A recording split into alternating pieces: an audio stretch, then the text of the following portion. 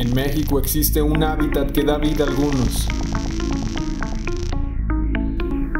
que preserva la vida de otros.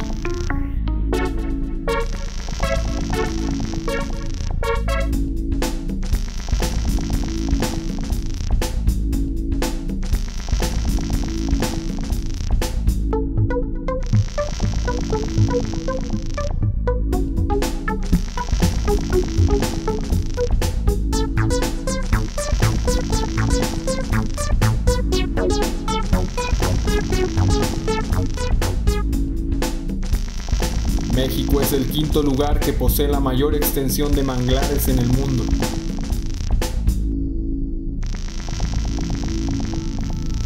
Bosques marinos, México.